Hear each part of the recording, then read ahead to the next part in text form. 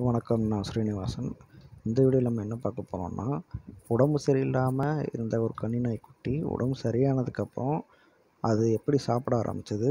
அது சாப்பிட ஆரம்பித்ததுக்கப்புறம் உடம்பு அதோட உடல்நிலை தேரிச்சா அப்படி தேரலன்னா அதுக்கு என்ன மாதிரியான ஃபுட்டு நம்ம கருப்பனுக்கு நம்ம கொடுத்தோம்? அப்படி அப்படிங்கிறது தான் பார்க்க போகிறோம் அதுக்கு முன்னாடி கருப்பனுக்கு எப்படி ஸ்டமக் இன்ஃபெக்ஷன் வந்துச்சு? அதுலேருந்து நம்ம எப்படி கருப்பனை மீட்டோம்? அப்படிங்கிறத தனி வீடியோவாகவே போட்டுக்கிறோம் அதை பார்க்காதவங்க நம்ம சேனலை விசிட் பண்ணி அந்த வீடியோவும் பார்த்துருங்க.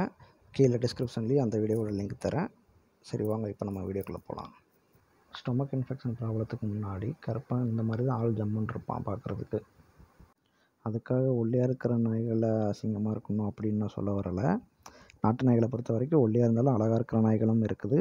நம்ம என்னென்னா இதுக்கு முன்னாடி நம்ம இந்த மாதிரி ஜம்முன்னு பார்த்த ஒரு நாய் உடம்பு சரியில்லாமல் போய் நமக்கு சாப்பாடு கொடுத்து உடம்பு தெரிலங்கிறப்போ அது பார்க்கும்போது ஒரு கஷ்டமாக இருந்தது. அதுக்காக தான் நம்ம கருப்பனோட உடம்பை பழைய மாதிரி தேர்த்தணும் அப்படின்னும் நானும் எப்பவும் போல் தயிர் சாதம் முட்டைன்னு வச்சு நல்லா சாப்பாடு அதிக டைம் எப்போ நாலு டைம் ஃபீட் பண்ணுவேன்னா அந்த இன்ஃபெக்ஷன் ப்ராப்ளத்துக்கு அப்புறம் அஞ்சு டைம் ஃபீட் பண்ணேன் அவன் நல்லா சாப்பிட்டான் ஆனாலும் உடம்பு தேரல என்ன பண்ணுறதுன்னு யோசிச்சுட்டு இருக்கிறப்போ ஃப்ரெண்டு ஒருத்தர் சஜஸ்ட் பண்ணார். குழந்தைகளுக்கு எப்படி செர்லாக் கொடுப்போமோ அது மாதிரி நாய்களுக்கு நாய்க்குட்டிகளுக்கு இந்த செமோலக் அப்படிங்கிற இந்த சத்து மாவு வந்து கொடுக்கலாம் அப்படின்னாரு. இது வந்து பார்த்திங்கன்னா அவரோட உடம்புல அவரோட நாய்க்குட்டிக்கு கொடுத்துட்டு இருந்த ஒன்று நானூறு கிராம் வந்து நானூறுரூவா வரும். காஸ்ட்லி தான். எல்லாராலையும் இதை கொடுக்க முடியுமா என்னன்னு தெரியாது. அவரோட அனுபவத்தில் அவர் வந்து இது எஃபெக்டிவாக இருக்குதுன்னு சொன்னார். சரி அதையே நம்ம ஃபாலோ பண்ணுவோமே அப்படின்னு சொல்லிட்டு அவர் யூஸ் பண்ணிகிட்டு இருந்த ஒரு முக்கால்வாசி இருக்கிறத வந்து என்கிட்ட கொடுத்தாரு. நான் அதுக்கப்புறம் அதை டெய்லி ரெண்டு ரெண்டு ஸ்பூன் இந்த மாதிரி பேஸ்டாக்கி ஃபோர் ஃபீடு தான் நான் பண்ணிகிட்டு இருந்தேன். ஒரு ரெண்டு நாள் ஃபோர் ஃபீட் பண்ணால் அதுக்கப்புறம் வந்து பார்த்திங்கன்னா தட்டில் வச்சோன்னா அவனே சாப்பிட ஆரம்பிச்சிட்டான்.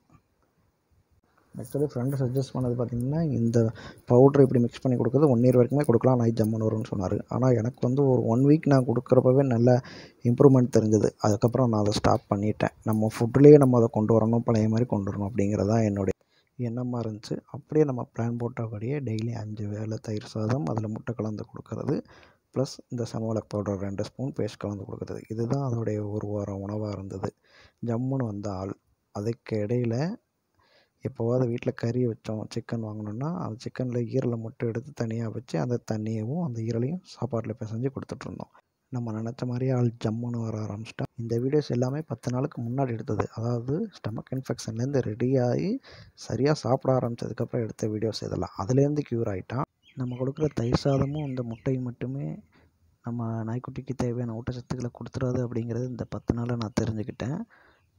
அப்படி ஊட்டச்சத்து குறைபாடுனால வேறு என்னென்ன ப்ராப்ளம் ஃபேஸ் பண்ணேன் அதுக்கு என்னென்ன ஃபுட்டு கொடுக்கலாம் அப்படிங்கிறத அடுத்த வர வீடியோவில் டீட்டெயிலாக சொல்கிறேன் தொடர்ந்து நம்ம சேனலில் போட்டு வர வீடியோஸ் பாருங்கள் சப்போர்ட் பண்ணுங்கள் ஒவ்வொன்றா அனுபவப்பட்டு அனுபவப்பட்டு அதை வீடியோவாக மேக் பண்ணி போட்டுட்ருக்கிறேன். ஏன் அப்படின்னா என்ன மாதிரியே புதுசாக நாய் வளர்க்குறவங்களுக்கு அது வந்து ஒரு பாடமாக இருக்கணுமே அப்படின்னு தான் தொடர்ந்து சப்போர்ட் பண்ணுங்கள் நன்றி வணக்கம்.